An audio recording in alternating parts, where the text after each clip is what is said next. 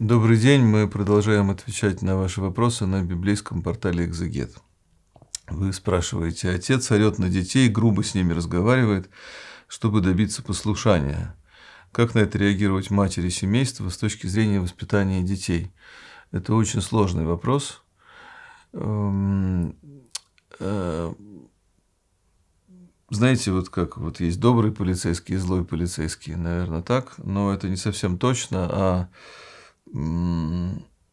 сложность вопроса, который вы задаете, в том, что нет договоренности между отцом и матерью. А изначально должна быть договоренность между отцом и матерью, общая стратегия воспитания. Как именно вы воспитываете детей. Но мы можем учитывать то, что люди разные, что и отцы устают, и матери устают, и терпение заканчивается.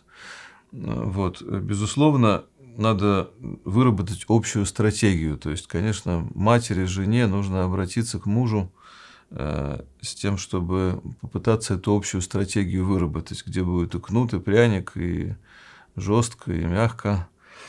Вот. Э, а если не получается так, ну, бывает вспыльчивый характер у человека, не сдержанный, вот все мы такие, то тогда эту чашу весов надо наоборот э, с материнской стороны уравновешивать и давать больше любви, больше ласки, э, больше спокойствия, объяснять детям, что отец не со зла так, а что он хочет лучшего, ну, как-то выгораживать, в общем, максимально, насколько это возможно, отца в глазах детей, чтобы они не боялись, чтобы они э, понимали его мотивацию, даже если она выражении своем не совсем правильное, потому что в основном, конечно, и добрые отцы тоже, вот, и терпеливые отцы тоже бывают раздражаются и кричат, и вот, но послушания таким образом не добьешься.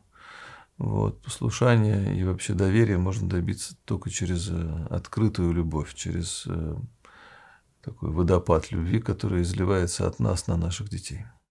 Внеси свой вклад, оцени, подпишись и поделись этим видео.